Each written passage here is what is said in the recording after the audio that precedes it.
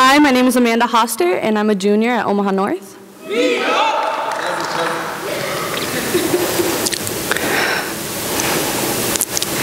My body is a temple, a sacred place that has only been admired for its architecture and never for the hymns and prayers that ring from it.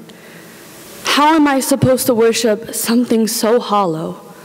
To love something that is already dead, I am composed of marble columns and painted ceilings, yet they rest in abandonment praying to gods that cease to give them salvation, searching for a love that will not gaze at the walls around them, but rather bask in the scriptures I create. I have been mistaken before. Strangers with familiar faces have overstayed their welcome. They've drowned out my hymns with deafening silence, shattered the marble, and covered the paintings. My identity has been stripped from me deteriorating with every touch. I've been told that I should be ashamed of this temple, of this structure that consumes my being. It is simply for others to visit, to reconcile with their demons and fix themselves as they destroy their surroundings. I am crumbling from the inside out collapsing in on myself, yet they never cease to take a piece of me before they leave. I crave to cover myself in vines, let them climb up the walls and sprout thorns. But all it takes is a sweet voice to untangle them. Talking of love, dripping like honey, feeding me sugar coated lies. They never wanted to nurture me or build me back up. I was just a tourist destination, another one to cross off the list. I'm sick of praying to someone who isn't listening.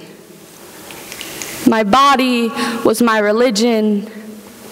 I can't even believe in myself anymore. These breaks in my foundation will get the best of me someday. My knees are weak and my arms are tired of holding other people up on the pedestal that I should be on. Yet I still don't find myself worthy enough. I've begun to believe that this temple is made of nothing more than dirt. The marble is lackluster, and the paintings are mediocre at best.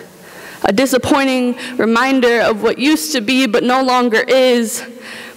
The day I crumble is the day the beggarly thieves disguised as false lovers win, and they are so close to victory. Yet I've been told it is wrong of me to blame them for my hurting, like they didn't break me. Like, I'm not afraid to create scriptures now because they told me I didn't write eloquently enough. There's no beauty in my destruction. I want to be okay. But I fear I'm far past being saved.